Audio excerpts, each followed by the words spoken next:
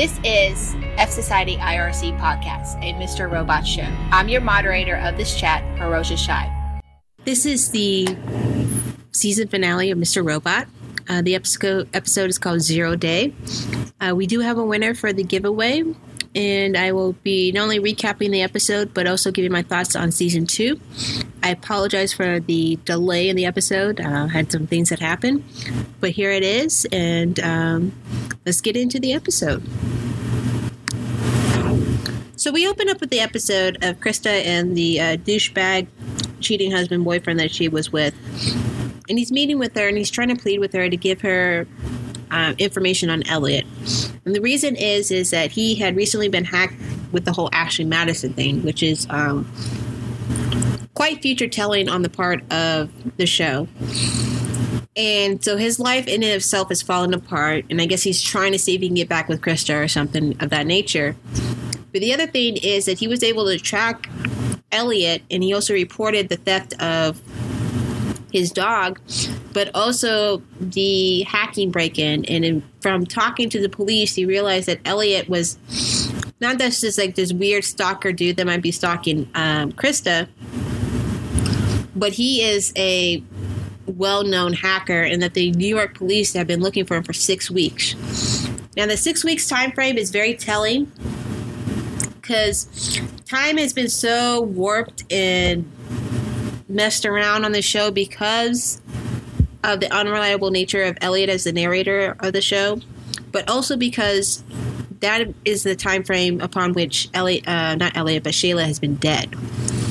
So Elliot might be somebody that the uh, New York police could be looking for because of Shayla's death. The other thing is that this guy was able to track Elliot down because his do- his dog is microchipped, which could come to play. Uh, it doesn't this episode, but it might come into play next season. Because Elliot did take the dog in to the veterinarian. The veterinarians, if you're ever familiar with dogs that have been chipped, always scan for the dog. They always um, log it in, report it, you know, report the information just in case a dog is stolen or something like that of that nature is something you understand that if you have a microchip dog is something you kind of want or type of service you want.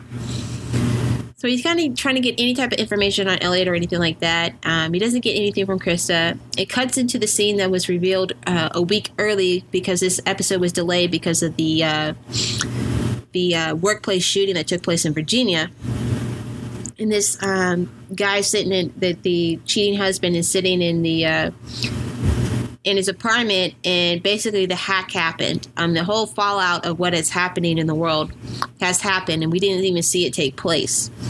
And he's pa- a bit of a panic in himself because one of the servers that uh, Elliot was bouncing around with, around in, was in Estonia, and if everything is good to go, then law enforcement can get their information from Estonia.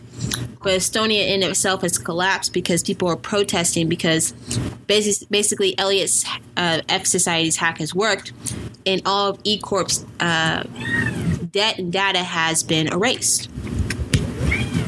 Then we cut into Elliot wakes up and he is in Tyrell's suburban. Uh, he gets waking up by a parking attendant, and it, he, to him, it's been two days. And he has no recollection or no memory of what has happened. And there's also no sign of Tyrell. In fact, there will be no sign of Tyrell throughout the rest of this episode, and it's going to be a mystery that is going to be, I guess, left to be solved next season. But Elliot has no memory of what has happened, and, and it turns out he's been missing for three days.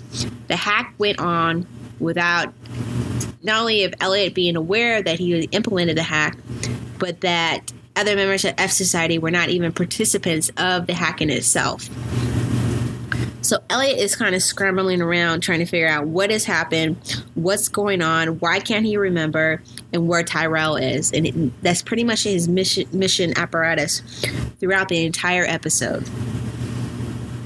While the rest of F Society um, are trying to do the cleanup, they're trying to erase all the data, all the information, trying to figure out where Elliot is, making sure nothing about this hack is getting traced back to them.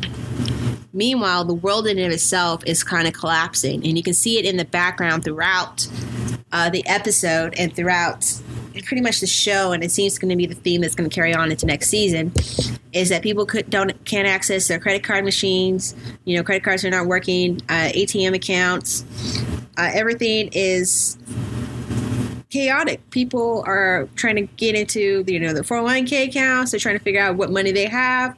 Are their debts going to actually be erased? What has actually happened?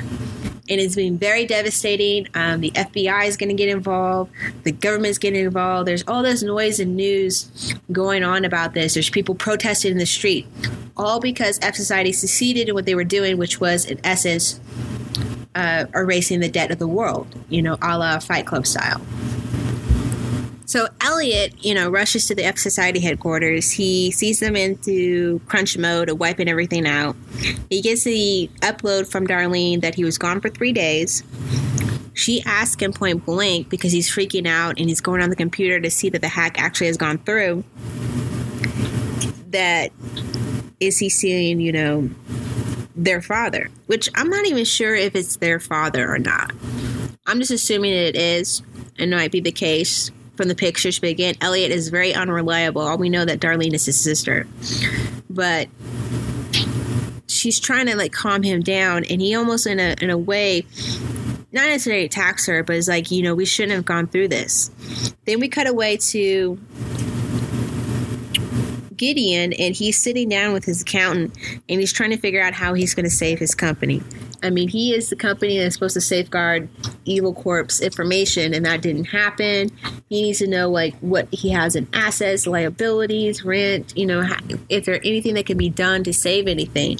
And his accountant is being very forthright and point blank with him that that might not be the case. That everything is basically a wash. And the only silver lining is that he might not, in fact, actually have any debt. excuse me, any debt anymore. And you know, he's not very happy. He's a good guy that's kind of got caught up in the wake of this battle between F Society, or Elliot, I should say, and Evil Corp. And then we come back to Angela, and Angela is working for Evil Corp. Uh, she was a little late to the place. Everything is frantic. Everything is up in evil. She she seems to be a higher executive there. Um, she's there to help and assist um, the president, who's about to give a news conference about what's going on at Evil Corp. He's trying to reassure the public and trying to assure them that the damage is not as pervasive of his scenes, but then he just kind of breaks down and admits that it's very devastating. They have no idea what's what's happening. It's really horrific. Uh, they have no clue how to fix anything, and then he picks up his bag, a bag that Angela had moved earlier, trying to get out of his way, and he, he wanted back and actually yelled at her about it and then apologized because she was new. And everyone kind of reminds her that she's new to this game, that she's new here, and she is. She just just kind of sort of arrive at, at the point where the company's in chaos. Uh, he uh, opens up his briefcase in a very graphic uh, fashion, even for, you know, I wouldn't even think even that Zito would be in the movies. Uh, he blows his head off on basically national television during this interview. And Angela is like right there. She kind of senses that something's off with him and kind of goes towards him. And she ends up getting um, some blood on her shoes. So, this incident is the reason why uh, the episode was delayed a little bit prior to that, I just want to kind of get into it because before that, uh, there was a video that was released by F Society explaining their manifesto, how they're destroying Evil Corp, that the people are free, and that they should um, embrace this new world, create a better world from the existing one. Uh, all while Elliot is trying to scramble around and find uh, Tyler Wellick. Um, he realizes that Tyler Wellick no longer works for Evil Corp, so he goes back to his home and has a very interesting encounter with his his wife, and they're both doing kind of, you might say, a game of chessmanship when it comes to obtaining information from each other. Elliot's saying that he's a person from work. She calls, you know, calls bullshit on him in a very polite fashion. She, you know, she's saying she hasn't seen him. He's supposed to be back later on today. And they're just having this all tired conversation. And then she finally says something in, um, I think she's Norwegian, that she would kill Elliot if something has happened to Tyler because she knows something is wrong. She knows by the presence of Elliot, the manner that they're talking, and the evasiveness that there's something wrong and that there's something that has happened to Tyler.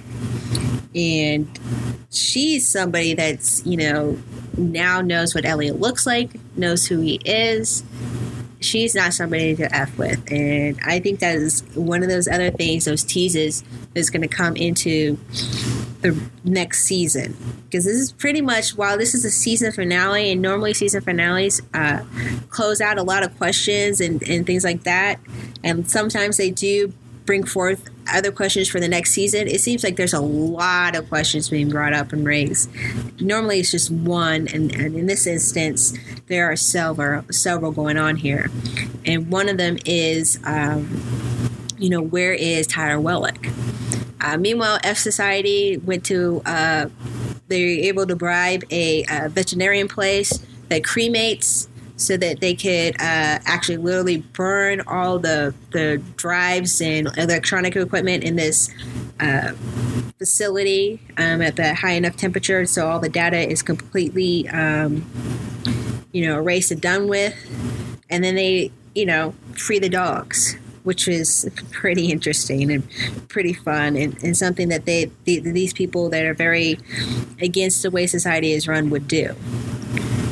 So Angela, um, after the suicide of the one of the CEOs I was talking to the uh, press, the other, you can say, the real power in the place, Mr. Price, the man who fired Wellick. Um, meets with Angela and is like, you know, you, you can go home if you want to, but if you can, he's kind of hinting, hinting her, like, you know, you really should come to the press conference later on this afternoon. And he also observes that she can get new shoes. She actually tells him no. He's kind of amused by it. He, he you know, he sees what people see in her, and he he likes her about that. And um, it kind of ends there. It's a very interesting, you know, unique conversation. Uh, we cut back to Elliot, and Elliot is uh, scrambling around. He's back in. Um, Wellick's place, or not place, but his car. He's looking for clues and he's trying to think how Mr. Robot would have done something because he, he perceives that what has happened is a result of Mr. Robot taking control of him again. And he realizes that Wellick's sunglasses actually have a USB drive and he opens it and he's looking for the information on the drive. So Elliot's in the car and he's screaming for Mr. Robot to show up. Mr. Robot doesn't show up. He eventually goes back home and he looks at the USB drive and he sees that it's all the security data that Wellick had on him, that Wellick has been watching him for a while, and that he knows that there's something off with Elliot. Uh, it shows the encounter that Elliot had with Mr. Robot, where uh, Elliot believes that Mr. Robot pushed him off the boardwalk when in fact that he was talking to nobody and he fell. He made himself fall off the, the boardwalk.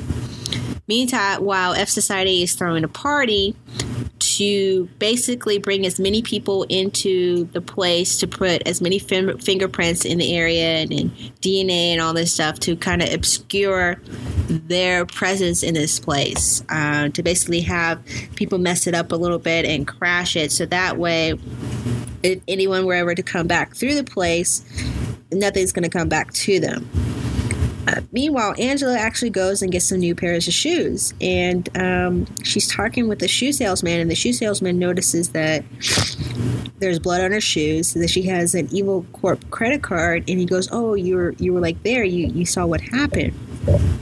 And he's shocked that she's there to get a pair of new shoes. And she's like it's just a job. I needed a job. I'm in this debt. And he's like judging her saying that these people are evil. You shouldn't be with them. Look what they've done. Look what has happened. And she basically just goes all evil corp on him and basically says look you need to get my new shoes. Period. End of story and he kind of like hops to it and it, there's a like a kind of a vicious cold uh, veneer that has appeared on angela uh, now as a result of you know taking this new position and the de- desperate situation she's in. Um, even with the lawsuit and everything and the loss of the job i mean she's in a tremendous amount of debt and she's pretty much just cornered and she just kind of lashed out there. And, and it'd be interesting to see what happens to her uh, next season if she becomes more and more evil corpish. So we come back to Elliot. Elliot's fed up. He wants to know where Tyrell is. He wants to know where Mr. Robot is.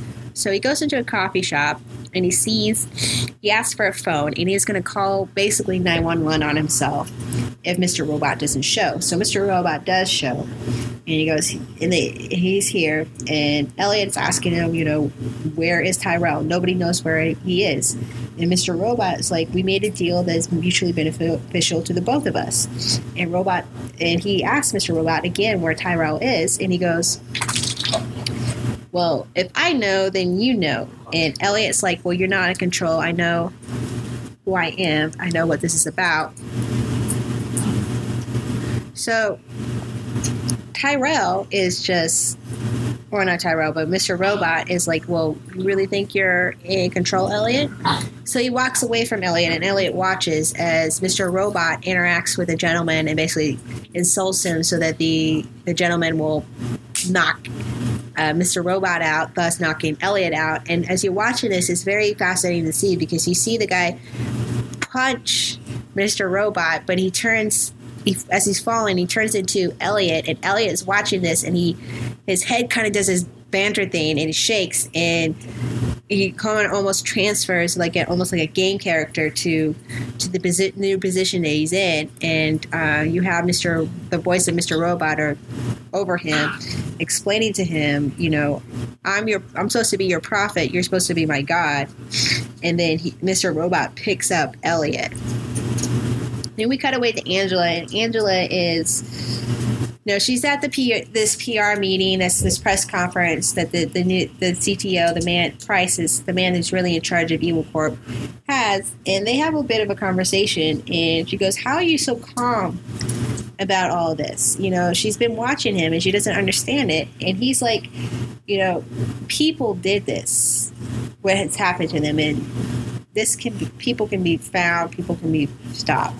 That what is happening is is fixable. Really, it's not something that you know is really that devastating in a sense. You know, once you find these people, then we're going to solve this problem. And he understands people. He knows people. He knows what people want, what they need, and how to find them.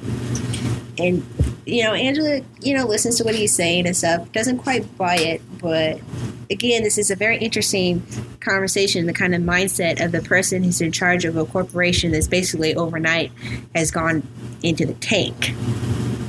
And that he's not panicking, and he's not fraught with worry. He's just very, very calm about all of this. So we cut back to F Society. There's there the party's happening. Darlene's trying to cheer up the the other three hackers, Trenton, Romero, and uh, your average nerd guy there, Mosby. And there's they seem down and out. It's not what they really truly expected. They're happy that people are there because then you know, nothing's going to come back on them. But Darlene was like, we freed all these people. We should be happy. We should be embracing what is happening in this party. We're all finally, you know, awake, which is the mantra that comes from the last uh, F Society video that was released, which was probably done by Tyrell Wellick. If you look at the F Society character, the eyes are blue, a very deep uh, blue that looks like Tyrell Wellick's eyes. And then we cut back to um, Elliot, and he's amongst the protesters that have been protesting throughout various cities, and now that is very much hitting uh, New York.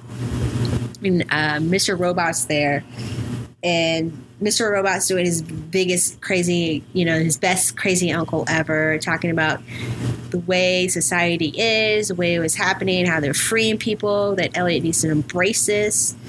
Um, Elliot wants nothing to do this. He wants to just be alone by himself, and so he blocks the protesters. He blocks everything out, and he envisions himself. He's like actually in Times Square where the protest is, all by himself. There's no people on the street, and he's talking to uh, Mr. Robot. Uh, his mother's there, and a younger version of himself is there. And Mr. Robot is saying, you know, embrace us, basically, embrace these personalities he created for himself. They know what is good. They know what is happening, and and Elliot is unsure. He he, he doesn't want to be alone, and he's they're saying that he they're going to be with him, and he's not going to be alone. and if you embrace him, that he, Mr. Robot, has a solution, and the solution is for Elliot to go back to his apartment, go back to to basically go back to his apartment, go on the computer, and basically watch as civilization as in itself has collapsed, which is something that Elliot does. But in the process of doing this, Elliot is literally broken. Uh, crying. He's kind of almost devastated in a sense. And then as he gets into the apartment and he's watching the screen, the door knocks. Um, and when you see Elliot, you see his new face. He's kind of emotionless in a sense. Uh, that fear, that anxiety, that uh, hesitation, the the will that he was in fighting Mr. Robot seems to be gone. And he goes to the door, and that's the end of the the episode. Um, the episode goes a little bit longer. There's like a little bit of an end piece, and what it is is at the end of this end piece is basically uh, is revealed to the audience. Uh, there's a party, I guess, at the the same place that maybe Angela is. It seems like to be the same location. Uh, this big palatial place that might be or may or may not be uh, the CEO Price's home, which just happens to be a piece of property that Evil Corp owns. And White Rose is there, and White Rose is not actually White Rose in her, you can say her the persona that we saw before, where she, you know, she's transgender, but she was in female clothing, but she as her, I guess her male appearance, and she's sitting down with the, C, the CEO Price and they're having a conversation. She's moving it to actual business of going to the Congo, and the CEO is like, he doesn't want to hear about any of this. It, you know, all that can take care of itself. And White Rose is like, well, what's wrong? It seems like you have the, the weight of the world on your, your head there. And he's like, all I wanted to do was listen to this music, to hear it play. And uh, White Rose is like, you they're having this bit of conversation, and the CEO revealed that they know who's responsible for the hack, and they're going to deal with them in the usual manner in due time. And White Rose kind of ends this conversation that you know it's because he kind of goes a bit silent, and you also hear that you know it's White Rose because you hear the the beat of his watch that the the music that's playing the harp is the same harp that you know supposedly are similar to that of what Nero was playing when Rome burned. And that is the end of the episode of Mr. Robot. So I'm going to go in real quick on what was real. Um, what was real is the nature of which F Society tried to scrub all the hardware and stuff like that. We saw Elliot use a similar method, but this is more detailed. They were just banging and burning and uh, drilling holes in all sorts of different hard drives. And then instead of using a microwave, they use a, a crematory place at a veterinarian place. Uh, the other thing that was item that was real was the USB port that was inside of Tyler Wellick's uh, sunglasses. People hide things of that nature all the time. It's in pins, it's in keychains, um, it's in the bottom of cups, uh, it's in shoes. Uh, this is a, a, thing that hackers do. Um, you can actually buy similar devices like that for sunglasses. A lot of times they're like more like audio incapable stuff where you're, you're actually your sunglasses are your your headphones at the same time. Um, but there's some, I've seen similar type of deal uh, when it comes to sunglasses. There also have a USB stick inside it uh, before out there on the on the web. The other thing is just the you know the nature upon which the media and people reacted to the collapse. I mean, there were protesting, there was rioting in various different countries. Uh, world leaders, as you saw through the various news uh, intercuts throughout the episode, is something that would be the typical response to this. Um, other than that, there wasn't really too much of reality as far as hacking goes, because for the simple fact that we actually didn't see the hack, which I think was great. Um, now we're just going to kind of get into the to what I th- think of the episode. Um, I know a lot of people online uh, thought it was slow and a little disappointed. Uh, I wasn't disappointed with the episode at all. I found it found it very intriguing. I found that all the different inner, you know, interweaving stories that were happening were um, satisfying, particularly the development of Angela as a character. I think she's having more agency and, and more direct action in what's going on. I like the twist of White Rose having some type of connection with the CEO of Evil Corp. I think it might be interesting to see just how in depth that relationship is. Uh, oftentimes, a lot of the hackers, when it comes to like dark hacker groups, uh, they're associated with the national state. Uh, you have the various like Syrian electronic something or another is uh, with Syria. Uh, China is known for this or hiring various ha- hacking groups. It would be interesting because they uh, Dark Army was responsible for the hack within China. That perhaps maybe this was a state-sponsored action. Uh, it could be not anything at all, anything like that at all. Uh, it could be uh, he's playing both sides of the middle. Maybe he wants to take over Evil Corp or knock it out as a competition. It remains to be seen. There's so many questions um, that are left to be answered. Where is Tyler Wellick? It's obvious that he is the spokesperson in the last F Society video, which detailed the manifesto of the freedom that F Society provided with people by deleting the Evil Corp database. Uh, is he dead? Is he disappeared? Is he the person that uh, Evil Corp believes is responsible for the hack? Uh, the other question is is how law enforcement is going to track F Society. Uh, they have proven in the past to be quite capable of going after various different hacker groups and hacker individuals, um, as um, as I reviewed in the uh, book about Kevin um, Mitnick. Uh, he was a hacker that the FBI tracked and traced down and put away for a number of years. Uh, you have seen the different s- stories that have happened with an anonymous group as well as terrorist groups. It would be interesting to see how you not not just American uh, intelligence or law enforcement goes after F Society, but other world countries seeking this group that basically decimated a global economy. Uh, it will be interesting to see, you know, will F Society have to go on the run? Will they will wrong people be swept up in the net that is drawn because they're seeking out these particular hackers? Uh, what happens to the people in general? Not everyone is going to be pleased that all their entire debt is gone. What happens to the loans that people may have had out? What happens to people's accounts and uh, monies that they had invested now that all that's disappeared? Uh, will Evil Corp just kind of take it to pay out debts, or will they even honor the fact that the debt has been completely wiped out? It, it remains to be seen. There, there could be serious global economic concerns because if people can't take out loans, how they're going to expand their businesses, maybe pay out payrolls. Um, there's a lot of significant economic recu- recu- recu- repercussions that could occur uh, because of this hack. Will there be more, you know, suicides like has happened with the the other CEO or whatever the ex- head executive there that was speaking with the, the news people, newspapers and blew his head off on live television. I mean, during the global collapse that just recently happened between 2007 and seven and 9 or some say it's still occurring but at the height of it there were a lot of people that committed suicide. There's still people commit suicide now. There was a young man that was a teenager that had some payday loans out and the payday loan company went into his account and wiped him completely out and he committed suicide. And that occurred in england london not more than two weeks ago. So, what what could potentially happen, and what does this mean for Elliot when he embraces the whole uh, various hallucinations that he has been seeing of his both his mother and his father and his younger self? What does that mean for him? I mean, is he going to cease being the Elliot that we know, or is he going to be a different Elliot?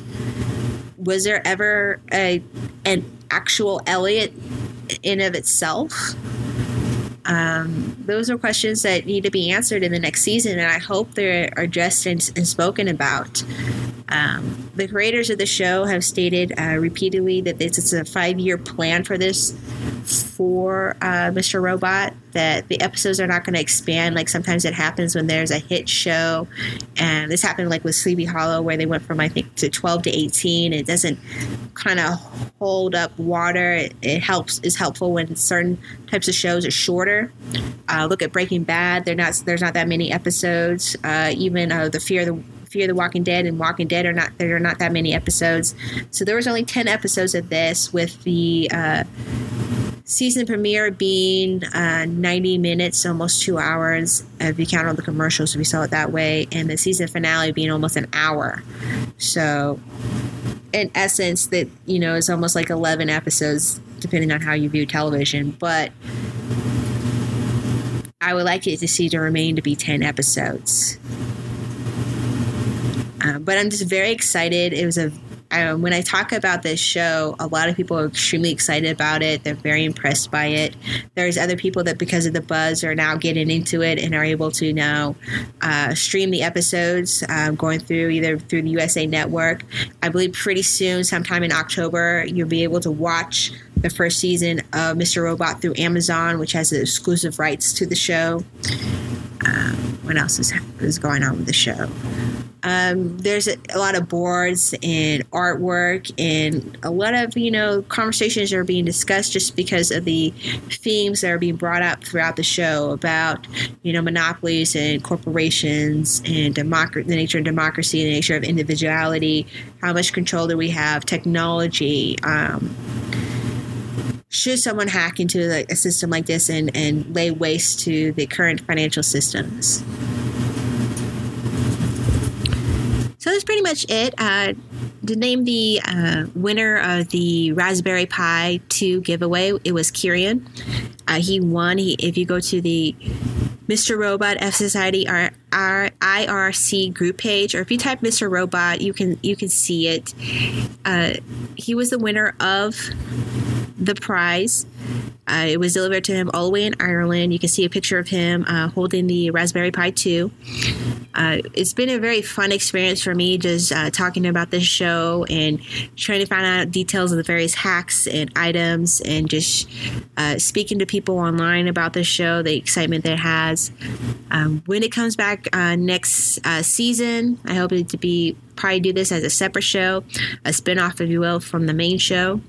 But it, I thank you all for listening. I hope that you enjoyed the season finale. I hope you enjoyed my reviews.